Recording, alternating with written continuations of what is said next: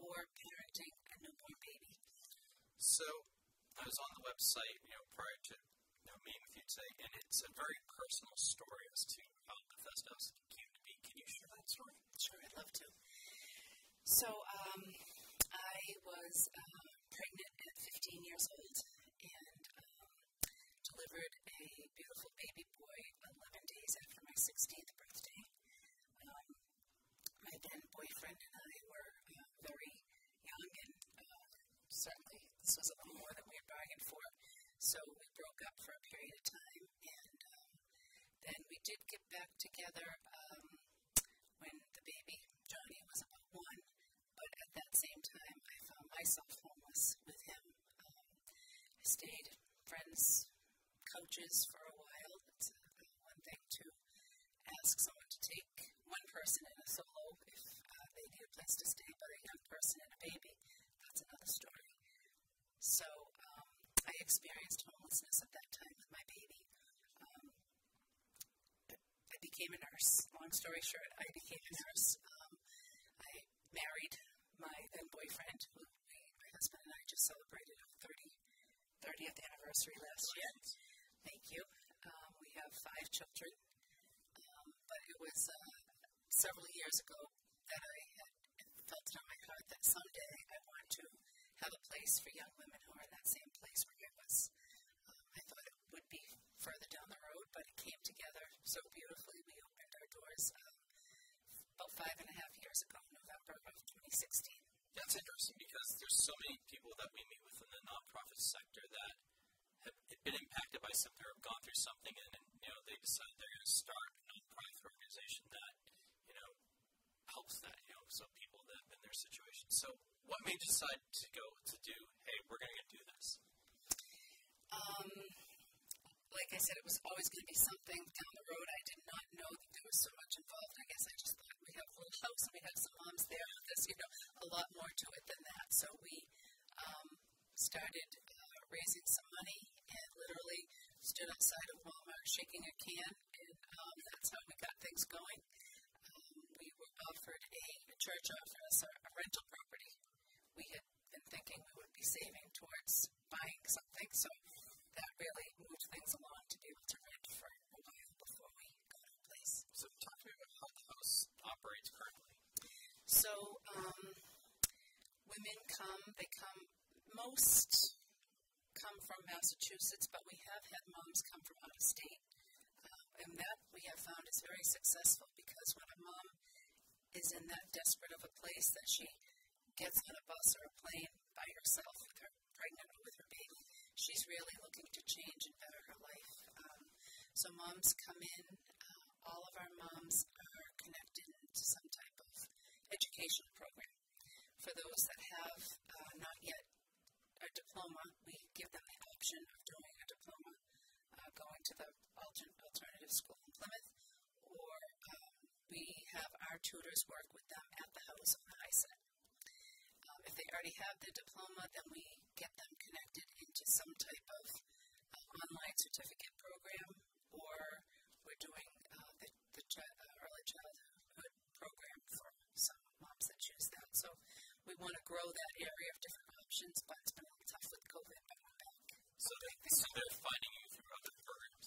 So. Yes, yeah. Um, programs or churches. Um, so local churches, that's where a lot of our volunteers and funding come from. So they're more aware of us and they spread the word when they hear of someone in need. So, how does it, what's your role currently? Like, how does it work? What's the day to day like for you? So I am definitely a working uh, director.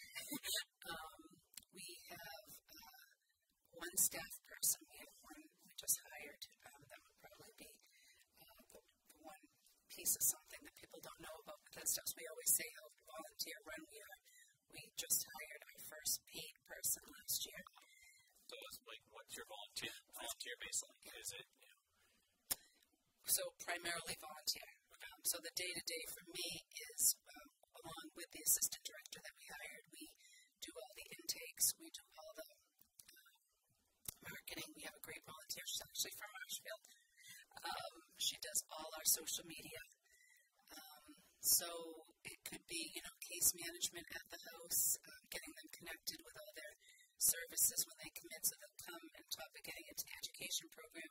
They need medical care, dental care, all the all the services that they uh, qualify for in our area. So we can we work on that. Um, How long are they? Are, are mothers staying with you? so we welcome them to stay for up to two years. Each and every stay looks very different. The way the program is laid out, that's the idea. Not not all, you know, choose that option. So, describe, if you can, in a couple sentences, the mission. Know, everybody, every NPO has like a mission. Yeah. So our mission is to, um, we want the moms that come into the house to have their life um, changed and to know Jesus. We are a faith-based ministry. Um, you know, you don't have to be of any particular faith system to come in, and it's totally your choice when you're there. But that's what our ideal mission is behind the scenes. Um, we we say to everyone we want to offer them is just a safe place to live um, with teaching them so many of the basics that they've never been exposed to life skills and parenting skills. So, every NPO has needs. What's the most urgent needs of the organization? I'd say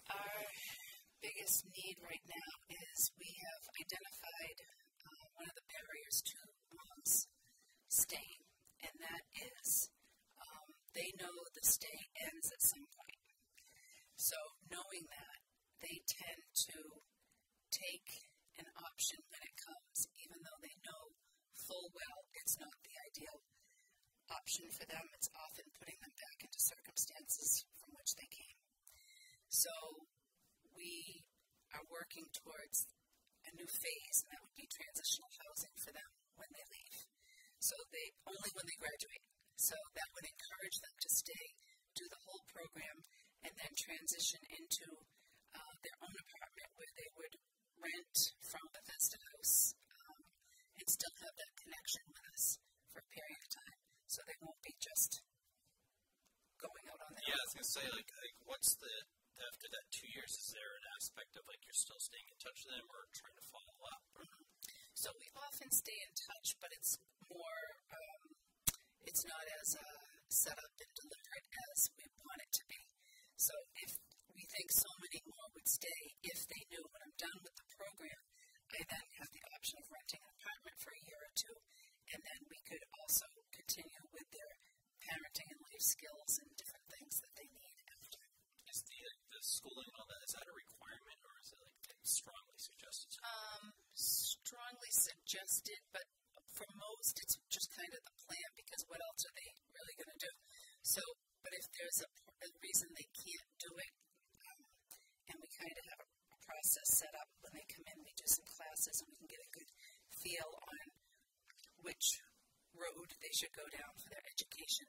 Um, and if for some reason schooling just isn't an option for them, we'll do what we call maybe like a work study program and just get out into the field working, even if it's at like Dunkin' Donuts or Stop and Shop or something. It's, it's got to be crazy trying to be in that situation of trying to raise a child or being pregnant and trying to all these other aspects of life, especially at a young age.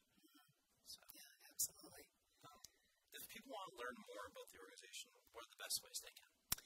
Um, so our website is the best, um, BethesdaHouseMA.org. Um, we have Facebook and, you know, social media, but definitely our website has areas if you're interested in volunteering or specific to if someone wants to learn more about living there. The funding aspect of it. So we are funded simply by um, individuals in the community and local churches and our fundraising. We just had a gala this past Saturday night. It was a wonderful event. Um, about the gala. yeah, I think everybody was thrilled to be back after two years off. Um, so we have an auction, and that did very well. Everyone was sort of very generous to us. Um, so we have that every year, and, we, and the girls come, and they're kind of like princesses for the night. They've been made up, and their hairdressers come and done their hair. And it's a we had some of our comes to saying, and one of the two actually shared her testimony as well. So that was beautiful. Uh, we also have a um, soccer tournament in July. It's for grown ups um, over 18, and it's a, we had 32 teams play last year. So it's a, it's a big event. How did COVID impact the organization? Yeah, that was challenging. Um, we delivered two newborn babies to kick off COVID so we had two babies in the beginning of March, and then the house went into kind of like the rest of the world lockdown. Um, so it was just me and the, the mom, three moms at the time, and um, someone dropped food off. So that was about three months of that. But like everyone else, we made it through, and um, we some people were you know more cautious in returning, understandably. We had one woman. Um, she's a babysitter. She's an older woman, and she first one back, probably the most at risk, but she was so lonely home by herself at COVID. She was back with the babies the first opportunity she got, so that was great. So you mentioned volunteers earlier, and there's such a strong volunteer base. If you know, what are you looking for in regards to that? So our major roles uh, at the house are transportation and babysitting. Um, there's always miscellaneous things, like I'm looking at the cameras here. We would have loved a gala cameraman. So there's always different, a little bit of um, wide variety, something for everyone at the house. So if you, even if I'm not mentioning something, if there's something that people hear, they think, oh, I have this gift, let contact us. And there's probably somewhere we can plug you in. Nonprofit, we know, can be difficult times. So what's the biggest challenge you guys have faced? Um, COVID was was it for us so far, just to not to have volunteers there with us. Um, one of our struggles is because we don't have staffing per se. Um, when something changes in the needs, like babysitting, so if everyone used to save their Monday for Bethesda House and then we don't need that for a week or two, we can very easily lose that person. Whereas if we were staffed, it would be a different story. So that's our challenge in, in, in having primarily volunteers. You can't be as like, come on, get back here when they're just volunteering. So that's a major challenge. Um, and again, like I said, the challenge I think for the moms is not having something for afterwards, and working on that. Awesome. Well, is there like one big success story that you always go to? We kind of have two success stories that are tied. Um, I'll share one. They're both from the COVID kickoff, those two babies born. Um, so I'll go with the mom that was shared at the gala. She um, came from um, a background of substance use, um, addiction. She's, uh, three years now recover, in recovery. So um, she had a, a son previous to before coming to BH that she was in the process of t- trying to decide, to decide on adoption or not. She did go ahead and decide on adoption for that uh, her son. It's an open adoption. Adoption. Um, she has a beautiful baby girl. She gave birth in March, and so she's been at the house for um, about two and a half years. She delivered her baby. She did her education program. She has done exactly what Bethesda House was had the vision for. It's what it was made to do. Um, she uh, graduated from her program and um, was ready to get a job. We put it out on a Facebook page, and somebody who knows us um, offered her her first job, and she's doing fantastic. So now she's at the end of the road. She will work and save for a few more months, and then she will um, fly, so to speak. So um, that's she's totally done amazing, and um, you know we wish we had the housing for her, but we'll we'll figure out her next steps as we go. What's that one thing that, when you talk with people, that surprises them about Bethesda House? I think when they find out how much we provide for holistic, everything, you know, from from wisdom teeth to because they're all the age of wisdom teeth, Yeah. so that's So now you gotta be- yeah, um, to um, you know what they need spiritually, going to church and growing and learning about God's love for them, um, learning basic life skills that we take for granted that everybody was taught, that many of them were not taught. How much is done, and that it's all done except for that one person, everyone is volunteer pouring into them, and we just cover. We, needed someone to go down and help uh, transition and adoption that was happening. One of our volunteers was like, "Sure, went down to Florida with them and stayed for the few days walking her through the process. So there's the everyday stuff that we advertise we need, but then there's so much above and beyond that that our team steps up to provide for our moms and the babies. So kind of talked, oh, sorry, but what's the future look like? So again, back to uh, well, we opened a resale boutique. Okay, that's, that's, that's important. Yes, that's at the Kingston Collection. Um, we don't think that's our forever home because it's really not that busy. Big surprise at the mall.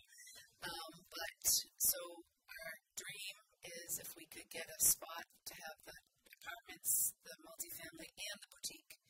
Um, we're big dreamers, and we've seen it happen before.